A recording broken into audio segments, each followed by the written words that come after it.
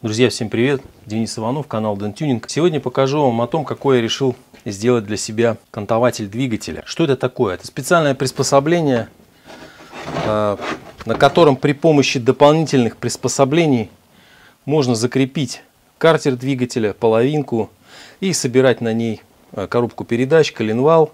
Очень удобно работать э, с затяжкой элементов. Можно поворачивать, подсоединять еще половинки. В общем, очень удобно. Началось все вот с этой ступицы. Нашел на металлоприемке это ступичный подшипник, по всей видимости задний. И изначально была идея сделать просто какой-то поворотный столик. То есть просто, чтобы э, этот подшипник зажимался где-то в тиски и мотор можно было крутить. Но потом как-то случайно наткнулся на все эти схемы кантователей для двигателя. Это такая тренога, которая, на которой подвешивается мотор, система такая же. Но только она с колесами, можно ее двигать по цеху там. Я решил сделать по-другому. Я решил сделать такую систему э, для своего верстака, чтобы не катать его, а именно для удобства работы с двигателем на верстаке. Взял подшипник, нарисовал в компасе вот эту вот планшайбу. Планшайба как бы тут с универсальными всякими пазами, э, чтобы можно было крепить еще дополнительные элементы, на которые непосредственно уже будет крепиться двигатель. Э, сталь 10 миллиметров толщина. Э, она, значит, одевается, получается, вот сюда, на эту ступицу. Резали, значит, вот эти детали, вот эти две детали на, гидро, на гидроабразивной резке. Немножко тут есть прирезки конусность, поэтому чуть-чуть сейчас придется мне почистить, доработать. Значит, смысл в чем? Одевается вот эта ступица, сюда крепится у нас вот этот вот кронштейн крепления. Вот так вот. И она у нас вращается. Вот здесь у меня сделано специальное отверстие, то есть будет стоять фиксатор подпружиненный, с помощью которого можно будет поворачивать и фиксировать положение этой поворотной планшайбы. Можно будет крепить этот кантователь в двух положениях. В горизонтальном, то есть вот так вот, то есть просто просверлю в верстаке три отверстия. Здесь быстрее всего поставлю шпильки, чтобы сзади барашками можно было быстро притянуть ее. Вот так. Здесь будет стоять фиксатор то есть будет все удобно поворачиваться, фиксироваться. Вот. Либо можно переставить его будет вот в такое положение, то есть вертикальное. То есть столик будет стоять и вращаться вот здесь. Конечно, все это надо будет потом привести в порядок, облагородить. Ржавую ступицу эту. Ступица уже как бы старая, подшипник на ней изношенный. Но для наших целей это абсолютно не важно, потому что когда он стянется, люфта у него нету. То есть вот это вот мне больше всего и хотелось, чтобы эта штука стояла жестко, чтобы она не болталась. Можно сделать все это намного проще. Две трубы, там отверстия. Ну, я решил сделать вот так вот. Красиво, аккуратно. Все на станке ЧПУ вырезано.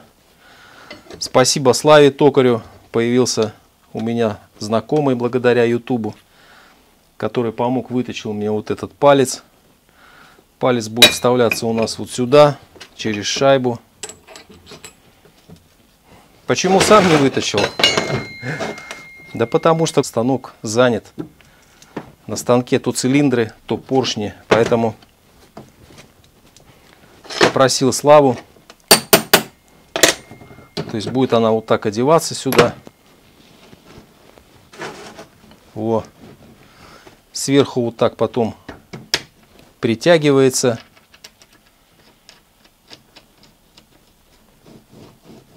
И уже сверху одевается непосредственно сама планшайба. Ну все, теперь можно все это дело чистить и подгонять.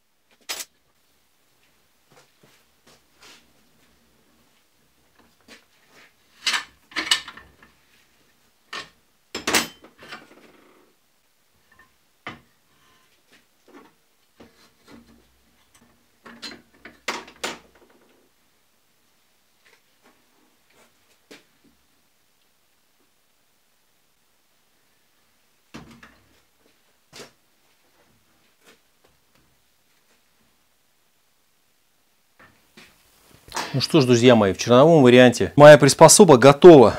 То есть, как видите, если снять с одной из шпилек, например, ураловский мотор, можно удобно работать с поддоном. Можно поставить его назад и уже работать с шестернями ГРМ или с маховиком. Причем можно также снять эту шпильку и перевернуть его маховиком, вверх.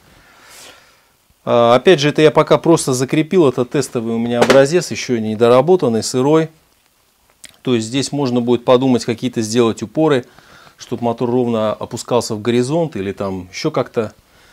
А, потом, опять же, мотор будет, как я уже сказал, приспособу можно будет крепить вот сюда горизонтально. То есть двигатель можно, например, а, собирать головками вверх, то есть цилиндрами головками вверх. Так будет тоже очень удобно.